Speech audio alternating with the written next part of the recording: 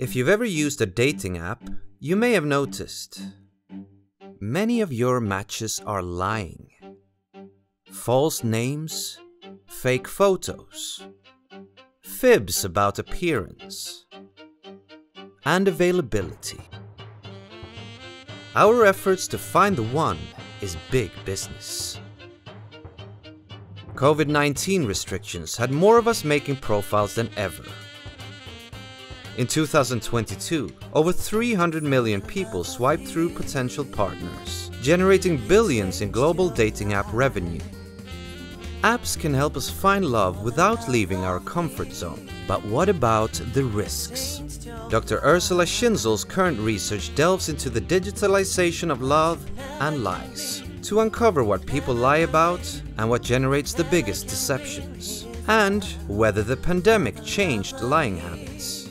The research also shows that most daters aren't lying, so maybe you'll find true love online, or maybe true friendship.